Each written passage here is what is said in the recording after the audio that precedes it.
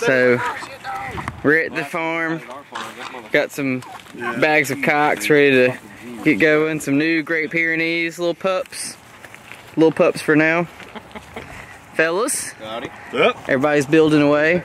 We got a new pair of turkeys. I have to say I'm excited about wild turkeys. Look at them strutting. Did you hear him drum just then? Like boom. I saw him go.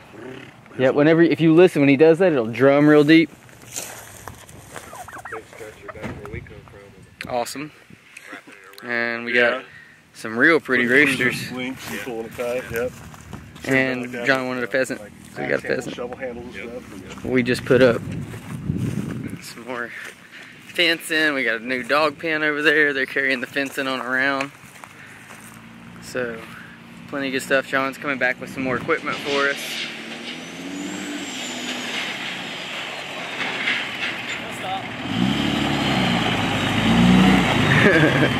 Cody's gonna get hit. So we just got back from uh, uh, the flea market. It's about a 30 minute drive probably. And uh, you never know what they're going to have. You go in, sometimes they got cows and pigs and all kinds of stuff. And sometimes you go in and they got, you know, like Nothing. flea market bullshit. Um, so the chickens, we got four or five birds per bag here. And the way you move them is just in onion sacks, potato sacks, or burlap bags. They use these because they're the cheapest. And uh, we save them because a lot of times when you go buy more birds, they won't have the bags and they want to charge you five bucks a bag. So we'll save these bags, take them with us next time we go to the flea market in case we need them. And uh, chickens go through a molt and they'll lay a bunch of eggs and then they molt and it takes a bunch of energy and a bunch of feed input for them to get through that molt and then they're kind of on their, their downside of their life cycle. So at that point, they're perfect uh, candidates for chicken dinner or uh, chicken and dumplings or soup or you know whatever you want to do with them. We've been letting ours go, but now with the new year, um, we've brought in fresh birds and we're setting up a whole nother flock here. We'll still keep some at the shop until we've moved here so that we can use eggs for our breakfast. But our hopes are to produce way more eggs than we can possibly use and be able to give them to all of our employees and then eventually have an overage that we can just sell or you know give to friends or whatever. Um, you already showed them all the The new, the new stuff, um, yeah. so we're just gonna we're just putting on the common wall of this uh, goat pen. We're just setting up a uh, chicken coop here out of uh, combo panels, hog panels, you know, pig panels, whatever you want to use. We use the combo because it's smaller and the little animals can't get out and the uh, goats don't get their heads stuck.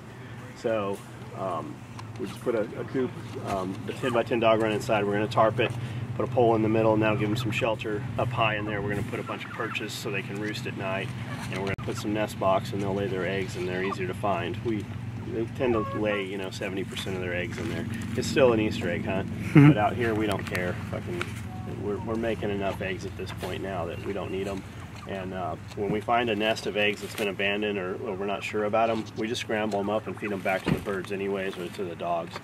And uh, we got a couple new pups and um, this, this goes a lot faster. Like this would take Cody and I four or five hours to do the first time we did it, but we just pulled a bunch of dudes rather than going to the gym, bring them out here and uh, set this pin up and within less than an hour we'll have this all ready to go. We'll have all the animals in and by nighttime they'll be settled, food, water, and uh, everybody will be settling in. So, and I got Colin a turkey.